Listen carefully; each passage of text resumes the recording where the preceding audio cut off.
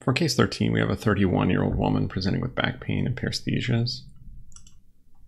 Here we have some axial images through the upper portion of the thoracic spine. have a bone window on the left here and a soft tissue window on the right. I think these are from slightly different levels. Here you have sagittal images again with a bone window on the left and a soft tissue window on the right.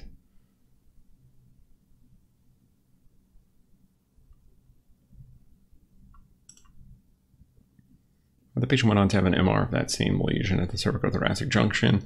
So now you see uh, see the lesion here. So we have T2, pre-contrast and post-contrast. So I've labeled those for you to make it a little easier. If you're having trouble telling, there's some bright CSF up here on the T2. Uh, the pre-contrast T1 has dark CSF, and this also has dark CSF. So you're probably looking at another T1, uh, although some of the structures are a little bit brighter. Just think about your diagnosis here. you want to think about what is the most likely diagnosis.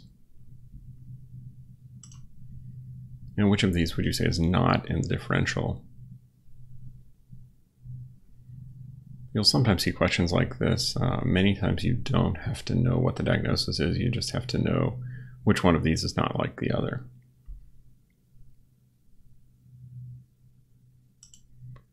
Uh, so in this case, this is an osteosarcoma of the spine. It's an aggressive bone tumor. It's arising from the bone itself.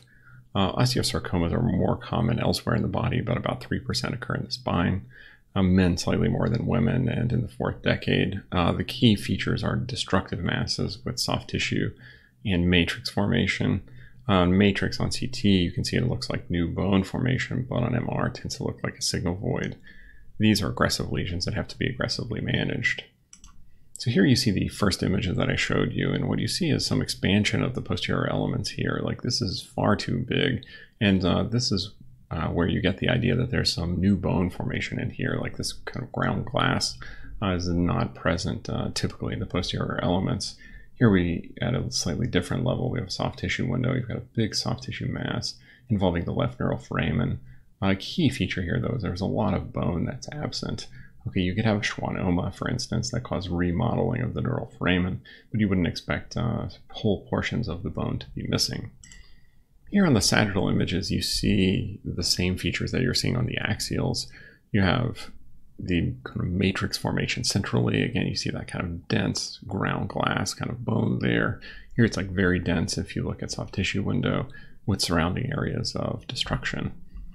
And then on the MR, you just uh, find those similar features. So this image is off a little bit to the left of the midline. Here you see this area that's dark on all of the images is the bony matrix formation, whereas the surrounding area is hyper intense on T2, a very destructive mass, and you see it's very solid. And you see on post-contrast imaging, there's pretty solid enhancement. So if you had to say this mass, you're thinking about aggressive masses because of the extent of bone destruction, the associated soft tissue masses uh, associated with it. So you need to be thinking about aggressive lesions. So based on the features we've seen so far, we know that that was an aggressive mass, but when you see new bone formation, it can help with your diagnosis if you try to determine what kind of new bone matrix you're looking at. And the two types of bone matrix are osteoid and chondroid matrix. Osteoid you'll typically see described as cloud-like, trabecular, or ill-defined. And here are a couple of examples. This is an osteoid osteoma. So you have kind of dense bone here, a surrounding lytic area, maybe some additional new bone surrounding it. Here's an osteoid osteoma of the occipital condyle. So again, new bone. It looks like the adjacent bone. Here's our case. Uh, so we have this bone. It looks here. It looks very similar to the bone that's in the center of the vertebral bodies here. So that's typically uh, described as osteoid. Whereas if you look in the contrast to osteoid, chondroid is typically described as focal, stippled, or ring and arc. So this is a chondrosarcoma of the pelvis. It's extending off of the uh, iliac here into the posterior gluteal musculature. You see there's these small little dots of calcification. If you look at it, maybe you can identify some arcs uh, kind of arc-like structures, and that's just where the bone is forming around cartilage. And so those uh, that arcs and rings burn that into your uh, memory because you'll see that on tests quite a fair amount. The question that you had here is which of these is non in the differential. So even without seeing this, as I pointed out, you can tell that the one that does not fit here is the nerve sheath tumor or schwannoma. These are relatively benign lesions with non-aggressive features. Uh, this one looks like it's coming from the bone, is aggressive, and has matrix formation. To see those features would be unusual for a schwannoma or nerve sheath tumor, whereas the remainder of these lesions can definitely do that. Now, this one ended up being an osteosarcoma you would, would reliably, uh, I mean, you would give a differential in this case, not necessarily reliably come to that conclusion every time. But what you need to tell them is that it's an aggressive osseous lesion.